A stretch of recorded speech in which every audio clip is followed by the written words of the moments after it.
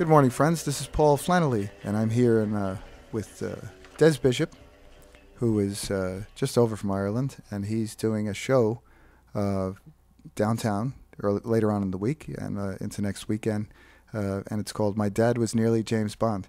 Des Bishop, you're very welcome. Thanks. Great to be here. So, you've just come back from your you toured in uh, Scotland. Yeah, I was doing uh, the stand-up comedy show at the Edinburgh Fringe Festival, and uh, we did a month there, pretty much the whole month of August. It went uh, went really well uh, with my new show called "My Dad Was Nearly James Bond," Yeah, and uh, actually we had the whole family over there. great. Yeah, it's kind of like uh, it's the first time you know, like I'm doing stand-up comedy now, whatever. Uh, I guess 13 years, Mhm. and it's the first time my family has probably been involved. I mean, there's been a couple of jokes where they've been the subject matter, but it's the first time where uh, it's pretty much been all hands on deck. I remember we were at a show uh, a few years back um, in Sunnyside, and That's right. uh, your folks were in the audience, and in the show you were saying, "Oh, I don't know if I want to do this bit with my uh, parents sitting right up front." Oh yeah, there's a couple of bits. Actually, But, those uh, gigs, the couple of gigs that I've done over the years, like for the Irish Lobby for Immigration Yeah. Reform, mhm. where uh, you, those are pretty much the only gigs I ever did in New York. One or two of the stories that came out of those shows, because my parents were in the room, are actually in this show now. Mhm. You know, stories about catching my dad watching porn and the like. You know, the some of that stuff I probably would have never thought was Yeah. funny, except that when they were in the room. But now it's uh, the humor of uh, teenaged angst and uh, the evolution of a relationship with a father has has is kind of the the comedic uh, elements of the show, although it has kind of a Yeah. a serious theme running through it. Well, um, the uh, just for to as, to to let people know uh, here uh, in Ireland, uh, Des has had a great successful career. He is very very well known. He's been doing stuff on television for RTE, and uh, his show uh, sells out. Coming back from Scotland now, your your latest show, my dad was nearly James Bond, and I hate to even group that in with this as your latest show because this is a very special show for you Yeah, Um, well, but it's been greatly reviewed. You got a tremendous write up in the Guardian and uh, the Scotsman. A number of uh, papers have uh, really raved. I think you did great out of the the uh, festival. It was Mhm. uh, one of the one of the top shows. But sorry, uh, Des, um, tell us uh, a little bit about this project. Uh, particularly. yeah. Well, why actually why I brought the show back to New York was well for two reasons. One, uh, because it had gone so well in Edinburgh. Mhm. and because my dad is kind of involved. I mean i try to keep it a little bit of a secret of how involved he is but because he very much enjoyed the experience uh, of the show being on in edinburgh i wanted to give him another shot at it because the show is inspired by the fact that he was diagnosed with small cell lung cancer stage 4 uh, last november. It's it's nearly a year now which is actually kind of almost miraculous because uh, originally we didn't think my dad would still be around at this stage. So uh, anyway, the reason why I wanted to put it on in New York is because you know they, my parents still live here. I moved to Ireland when I was 14, but my parents still live here, and I wanted him to uh, be close to the show. Uh, you know, once again, you know, a little bit more. I mean, I'm going to tour the show around Ireland, so I, I threw on these gigs in New York at the last minute because uh, the show is it's pretty much his his life story. You know, he was an actor and a model before I was born, and he gave that up for us, myself my two brothers, Mike and Aiden. We grew up here in, in Flushing, Queens, and uh, you know, I think uh, my dad kind of regretted that sacrifice a bit at times. Not regretted he didn't regret having us, but you know, like like a lot of men, I think you know they regret the sacrifices that they have to make to be a good father. You know. And and and you didn't particularly make that easier on him either. Uh, growing up. Uh, Yeah, we, because we were brats. yeah, because we were brats, and he probably thought I sacrificed my dreams for this, for this lack of respect. Uh, but uh, I, I actually, I very But much, uh, I, I, I tackle that uh, that journey in the show because uh, you know I think when you become a teenager, you you lose all respect for your parents, part of your evolution. And uh, Mark Twain said it best when he said, uh, "At 14, I was convinced my parents were idiots, and at 21, I was amazed how much they had learned in the meantime." and uh, a lot of the humor comes from that time, actually, you know, in the show. Sure. But um, But uh, a little bit about uh, now your dad with the the, the role. Uh, oh yeah, of course. So basically, uh, he, he he had like some successes. You know, he had some bit parts in movies, a couple of lines in Zulu and Day of the Triffids. But why the show is called My Dad Was Nearly James Bond is uh, he uh, was up for the role of James Bond for On Her Majesty's Secret Service after Sean Connery had given it up. Uh, not a great James Bond to go for because Connery was always going to be a tough act to follow. George Lazenby got the role. My dad didn't get it, and uh, it was always a big story in our house that my dad had actually gone up for that role. I think when we were younger, he used to try to tell the story as if himself and Lazenby were sort of waiting by the phone, as if they were the last two in it. I think more realistically, he just read for the role, which in itself is pretty amazing because there's a certain criteria that you have to fulfill to be considered for James Bond. Yes. Uh, in other words, you know, you have to be quite good looking and charismatic. And my dad had all those things. He was in the same modeling agency as George Lazenby, actually.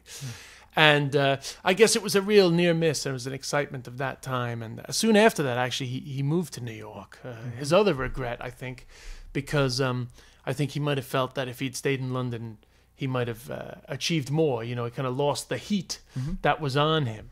And uh, essentially, basically, uh, the those regrets uh, are quite dramatically dismissed as a result of my dad's cancer diagnosis. We've had some amazing moments together as a family.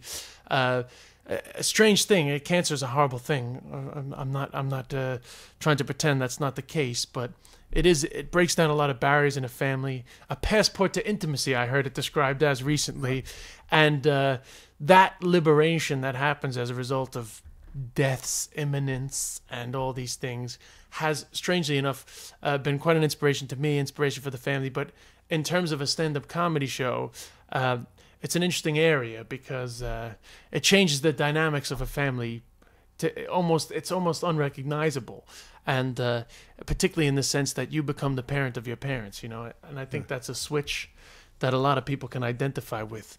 And uh, when you become the parent of your parents, you learn a lot of things. And you have the unfortunate realization you never wanted to have, which is the realization that when your mother always said to you, one day you would understand that it, that it's true.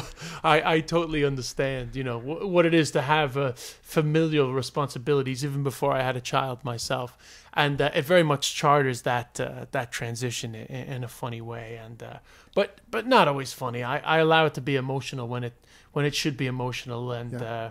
You know, it's a, it's really a celebration. Well, first of all, it's in honor of the job that my father did. He did a fantastic job, and it's really, um, I guess, a celebration of the heroics of fatherhood against the empty heroics of James Bond, who's a, a fictional character, and uh, you know, a, a thank you and a celebration for the sacrifices that that fathers make for their children. You know, and also um, a, a look at dealing with death, you know, something we're all going to have to deal with. And stand up comedians thrive in areas where people, you know, area, things that people would go through and say, oh, that's so true. I never thought of that. Well, death is a guarantee for all of us. So we Certainly might as is. well look at it in those terms. My friend uh, Malachy McCourt was very fond of saying that we, we suffer from 100% mortality. And uh, That's that's true, hundred percent.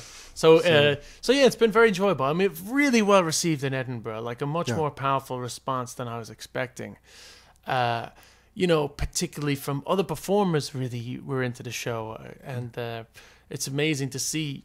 I, I'm used to making people laugh. I wasn't used to making people have strong emotional responses, and uh, was was it was fun. It was enjoyable, and it's very you know, it's like not a great thing to have to deal with cancer in your family, but it's very therapeutic to be able to bring everybody together in a way and rally around this fun experience rather than focusing on the fact that, you know, there's horrible things going on or that my dad doesn't feel that great. You know, instead we're all just, you know, we're strangely enough having quite a good time with it. It's uh yeah, it is it's and it's difficult. It's it's um uh you know, if you're positive and you have your that, that's one thing, but also when you're in discomfort and pain and going through the chemotherapy, it's hard to be. It is. you know, it's you can have the most positive attitude in the world, but when it hurts, it hurts. And, Yeah, and that's- it's even like tough. since Edinburgh, my dad's had some more chemo, so he, you know, he hasn't been in as good form, but he does have those memories. And you know, the truth is, my dad's diagnosis is is terminal, and uh, you can get chemo to prolong life, which is my Yeah. dad has had a has a good run at it. You know, and the first cycles of chemo were difficult, but not as difficult as we thought. But there's no point in doing that unless you use the time. And Yeah. the fact that, you know, he has been able to get involved in the show and, you know, that like for a man that sacrificed his dreams for his children, the fact that he's involved in one final performance, like in, in a real way, you know, is a, it's a nice way to, it's a nice way to go out. Well, um, the the reviews uh, have been brilliant. Um, I particularly like the one in the Guardian. Uh, any of you or listeners out there can can check that out online. But even better than that, uh, go down to the Barrow Street Cinema this uh, this week and, Yeah. and this weekend and uh, see this show. Yeah, And, Thursday, uh, Friday, Saturday, and Sunday. Thursday, there's a Thursday, Friday, Saturday night show. Yeah, and, and, a uh, Saturday and that's matinee Thursday and a? Sunday matinee. Saturday and Sunday matinee. Uh, if you want information on, on this, you can go to uh, what's the best way, Des? Well, Des I guess desbishop.com or barrowstreettheater.com. Okay. And uh, you'll find all the information there. And if I can get it sorted out, we'll put a link on our. Uh, I'm sure we can. Um, I'll put a link on uh, IrishRadio.com, You know, you can Yes, Facebook it. me, Twitter me, Facebook, the whole lot. Yeah, anything. Facebook me, Twitter me. Oh, Easy to find. yeah. You face um, Google Des Bishop New York, it'll come up. Yeah, so that's it. Jasun Makanaspig. and uh, so, come on down. I'll be down there, and uh, Yeah, uh, come and meet Paul. Yeah, come put on a- down. Maybe. Put a face to the voice. All right. So, Des, I want to thank you very much, and I wish you all the success with this. Thanks very much, Paul. And uh, and with your dad as well. A lovely, lovely man. Uh, Thanks. I- and uh, we'll see. Uh, well, I'll see you down at the show, and uh, and definitely the next time I'm home, I'll look you up as well. Thank you. All right. Thanks, Des.